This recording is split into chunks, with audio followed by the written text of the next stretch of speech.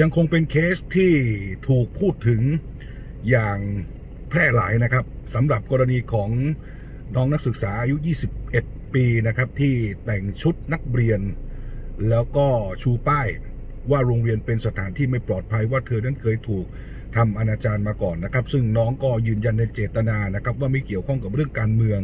ต้องการให้สังคมได้เข้ามาช่วยกันแก้ไขปัญหา การคุกคาม การทำอนาจาร ในรั้วของโรงเรียนนะครับ แต่ท้ายสุดการเมืองก็เข้ามาเล่นงานเธอจนได้นะครับ ด้วยการ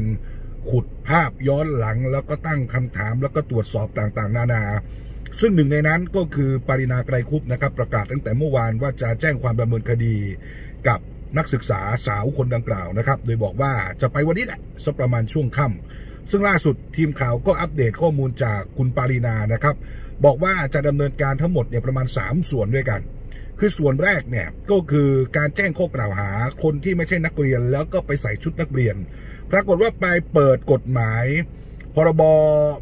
เครื่องแบบนักเรียนเนี่ยนะครับพรบเครื่องแบบนักเรียนปี 51เนี่ยพบว่ามาตรา7เนี่ยบอกว่าห้ามไม่ให้คนที่ไม่ใช่นักเรียนใส่ชุดนักเรียนนะ แต่ต้องมีเจตนาทำให้คนอื่น เชื่อว่าตนเองเป็นนักเรียน โทษก็ปรับไม่เกินหนึ่งพันมีแต่โทษปรับนะครับ ไม่มีโทษจำนะครับ ซึ่งก็ต้องไปดูว่าน้องนักศึกษาคนนี้เนี่ยเขามีเจตนาทำให้คนอื่นเนี่ย เข้าใจว่าเขาเป็นนักเรียนหรือเปล่า หรือเขาต้องการใส่เพื่อเป็นสัญลักษณ์ให้มันสอดคล้องกับหัวข้อที่เขาเรียกร้องเท่านั้น เพราะจริง ๆ แล้วเข้าไปดูในเฟซเข้าไปดูในเพจของน้องเขาเขาก็เปิดเผยตัวเองมาโดยตลอดว่าเขาเป็นนักศึกษา เขาไม่ใช่นักเรียน คือกฎหมายถ้ามันไม่มีเจตนาก็จะไม่มีความผิด น้องเขาแค่ใช้เป็นสัญลักษณ์เพื่อให้ทุกคนตระหนักเกี่ยวกับปัญหาในรั้วของโรงเรียนเท่านั้น หรือน้องมีเจตนาที่จะให้คนอื่นเข้าใจว่าน้องเป็นนักเรียนจริง ๆ ทั้งที่ไม่ได้เป็น อันนี้เป็นข้อต่อสู้สำคัญ แต่ถึงอย่างไรก็ตาม คดีนี้ก็มีโทษปรับแค่เพียง 1,000 บาท โทษปรับไม่เกิน 1,000 บาท นอกจากนั้นปารีนาก็บอกว่าจะไปร้องให้ตรวจสอบ เรื่องที่น้องออกมาบอกว่าเมื่อน้องโดนอนาจารเมื่อ 5 ปีที่แล้ว เพื่อดำเนินคดีกับครู หรือว่าผู้อำนวยการที่ปล่อยปละละเลย แต่หากไม่มีเรื่องดังกล่าวเกิดขึ้น ก็จะต้องมีความรับผิดชอบจากน้องด้วยเช่นเดียวกันนะครับ ซึ่งตรงนี้ก็พูดได้เลยครับว่า โอกาสที่จะหาคนผิด โอกาสที่จะหาหลักฐานเนี่ยมันยาก แต่ผมเชื่อว่าสังคมไทยทุกคนมั่นใจว่าปัญหาลักษณะการคุกคามการทำอนาจารเด็กในรั้วของโรงเรียนเนี่ย ตอนนี้เป็นปัญหาใหญ่มาก ในแต่ละปีสพทกลางสถิติตัวเลขการทำอนาจารการคุกคาม ในรั้วโรงเรียนเนี่ยเป็นจำนวนมาก และอีกเรื่องหนึ่งโอ้โห ต้องบอกว่าปารีนากัดไม่ปล่อยนะฮะกัดหลายดอกสไตล์ปารีนานะครับ นั่นก็คือบอกว่าจะไปยื่นเรื่องให้กับสำนักงานหลักประกันสุขภาพแห่งชาติ หรือว่าสปสช หลายคนถ้าไม่ได้ตามข่าวเอ้งงว่าเอ๊ะมันเกี่ยวอะไรกับสปสช คือก่อนหน้าที่น้องเขาจะมาใส่ชุดนักเรียนเรียกร้องเนี่ยนะครับ การชุมนุมครั้งก่อนหน้านี้น้องเขาเคยแต่งตัวเป็นคอสเพลย์คล้ายๆ กับเป็นแม่บ้านของญี่ปุ่น แล้วก็มาเรียกร้องว่าครูของน้องเขาเนี่ย อาจารย์ของน้องเขาเนี่ย ซึ่งเกษียณอายุราชการไปแล้วเนี่ยนะครับ ไม่ได้รับการช่วยเหลือในหลักประกันสุขภาพแห่งชาติ 30 บาทรักษาทุกโรค ออกมาพูดลักษณะที่ว่าคนเป็นไม่ได้ใช้คนตายถึงได้ใช้ ต้องรอให้ตายก่อนเหรออะไรประมาณแบบเนี้ยนะครับ ก็เป็นการพูดถึงรัฐธรรมนูญปี 60 ว่าเป็นเป็นต้นเหตุที่ทำให้เกิดเรื่องนี้ขึ้นที่ทำให้ครูของเขาไม่ได้รับสิทธิการรักษา 30 บาทรักษาทุกโรคทำให้คนเข้าใจเป็นแบบนั้น ปารีนาเขาก็บอกว่าเขาจะเดินทางไปที่สปสช เพื่อให้สปสชเนี่ยเอาผิดกับน้องคนดังกล่าวด้วยคุณผู้ชมครับ จากสภาพการทั้งหมดทั้งมวลเนี่ยปรากฏว่าก็มีคนออกมาปกป้องน้องนักศึกษาคนนี้ทั้งประเทศเลยนะครับ สสหลายคนรวมไปถึงมีสสหญิงจากพรรคเพื่อไทยก็บอกว่า พร้อมที่จะเข้ามาช่วยเหลืออย่างเต็มที่รวมไปถึงทนายความต่างๆ ที่ติดต่อเข้าไปเป็นจำนวนมากคุณผู้ชมครับ ภาพรวมของเหตุการณ์ที่เกิดขึ้นเนี่ย มันสร้างความยากลำบากแน่นอนให้กับเด็ก ซึ่งเป็นคนรุ่นใหม่ เอาละเขาอาจจะบรรลุนิติภาวะเขาอายุ 21 ปี แต่ทุกวันนี้ คนอายุ 21 ปีก็หาได้น้อย ที่จะลุกขึ้นมาต่อสู้ เรียกร้องเรื่องของการคุกคามเรื่องของการทำอนาจารคุณผู้ชมเชื่อไหมครับ ว่าตอนนี้การเมืองได้เข้ามากดดันเธอเป็นที่เรียบร้อย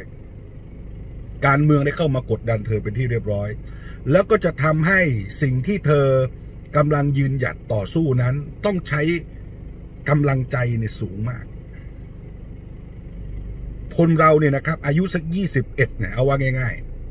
ๆ ออกมาเรียกร้องเจตนาต้องการที่จะปัดเป่า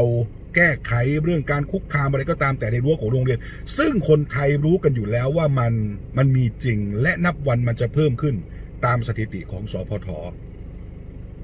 วันข้างหน้ามันจะมีอีกไหมที่เด็กอยากจะแสดงออก อยากจะเรียกร้อง อยากจะต่อสู้ประเด็นในเชิงสังคม ซึ่งถือว่าเป็นคนเสียสละผมย้ำนะ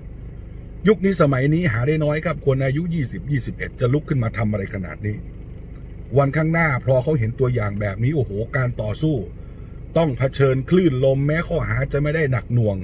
แต่การต้องถูกสปอตไลท์ฉายลงไปเป็นที่ไม่ชอบ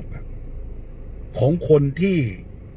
มีความคิดเห็นทางการเมืองอีกฝั่งหนึ่ง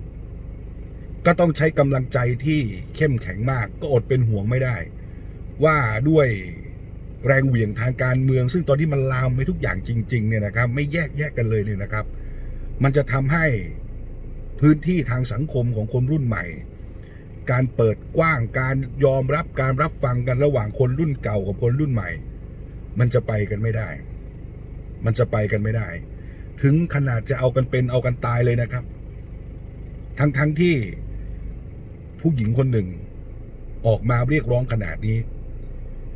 วันหลังก็ไม่ต้องถามแล้วครับ ว่าทำไมลูกฉันถึงโดนอนาจารทำไมลูกฉันถึงโดนคุกคาม แล้วลูกฉันไม่กล้าพูด ลูกฉันกลัว ลูกฉันนู่นนี่นั่น เพราะเขาเห็นไงครับว่า เมื่อเขาออกมาต่อสู้เมื่อเขาออกมาสู้ขนาดนี้ เขาจะต้องโดนอะไรที่มันเหนือความคาดหมาย แทนที่เขาจะได้รับการปกป้องได้รับการเคารพ เมื่อเช้าผมจัดรายการอยู่ บนหน้าจอโทรทัศน์ช่อง 25 ผมพูดถึงคดีอนาจารน้องเขาเนี่ยไม่ได้โดนข่มขืนนะน้องเขาโดนอนาจารคุณผู้ชมครับ ครูในโรงเรียนเนี่ย ผู้ใหญ่อะครับ ถ้ามันเป็นครูนิสัยไม่ดี วิธีการที่มันจะลวนลามเด็กเนี่ย มีเป็นร้อยแปดพันเก้าวิธี น้องเขาบอกว่า น้องเขาโดนครูเนี่ยเอามือแตะหน้าอก โดยครูก็อ้างว่ามือเนี่ยมันลั่นอะไรแบบนี้ผมถามว่าต่อให้เรื่องไม่ได้ผ่านมาห้าปี เรื่องผ่านมาเมื่อวานเนี่ย เอาหลักฐานจากไหนเหยื่อเนี่ยเสียเปรียบมากนะครับ คดีลักษณะแบบนี้ เพราะมันหาหลักฐานยาก แต่กลายเป็นว่า พอบอกว่าถ้าหลักฐานไม่มีเด็กก็ต้องเป็นฝ่ายผิดเพราะโกหกหาหลักฐานไม่มีไม่ใช่ว่ามันไม่เกิดขึ้นจริง อย่าเพิ่งไปตัดสินอย่าเพิ่งไปขู่กันแบบนั้น คือที่ไปขู่กันถึงขนาดที่ว่าเอ้ยถ้าไม่มีหลักฐานนู่นนี่นั่น ก็ถือว่าเด็กโกหก ผมย้ำนะครับ คดีแบบนี้ผมทำข่าวมาเนี่ย หลายคดีมากนะครับ หลักฐานอ่อนนะครับหลุดหมด แต่ไม่ได้หมายความว่ามันไม่ได้เกิดขึ้นจริง วันนี้ต้องพูดตรงนี้ให้ชัด เป็นเรื่องที่น่าเศร้านะครับ วันนี้คุณผู้ชมหรือผมหรือใครก็ตาม แต่จะเชื่อน้องก็ไม่เชื่อก็ตามแต่